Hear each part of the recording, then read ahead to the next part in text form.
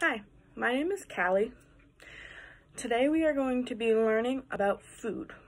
So to start off, this is the sign for food. You're gonna pinch your hand and put it up to your mouth. Food. Um, next is sandwich. So you are going to take your hand like this, point it towards you, and stick your thumb out and put this hand on top. Like here's a sandwich and here's your hand type and put it towards your mouth.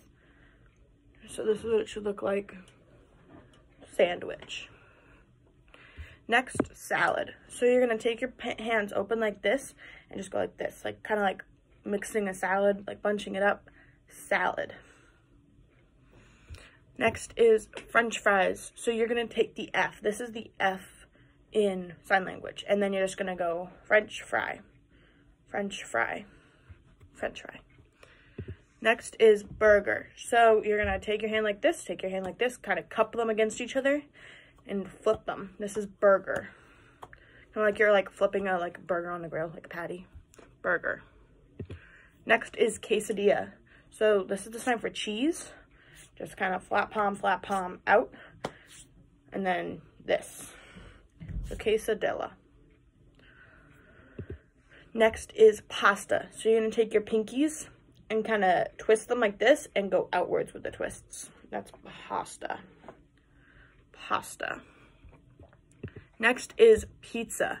So this, you're going to do this with your hands and go like that. Like kind of making a Z in the air. This is pizza. Next is bread.